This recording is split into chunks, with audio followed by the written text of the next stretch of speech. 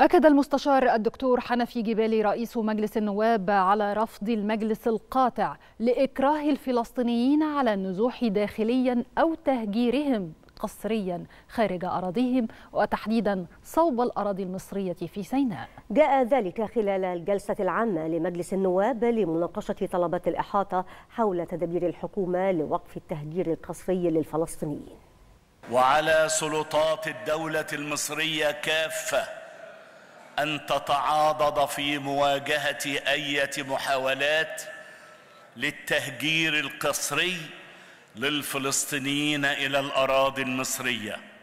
لما في ذلك من اعتداء خطير على أراضيها ومساس بأمنها وإن مجلس النواب من جانبه وبصفته السلطة التشريعية يسعى دوما إلى الحفاظ على مصالح الدولة العليا من كافة مخاطر الاعتداء سواء أكانت من جهة الداخل أو الخارج من خلال ما يسنه من تشريعات تجرم أي اعتداءات على أمن الدولة المصرية.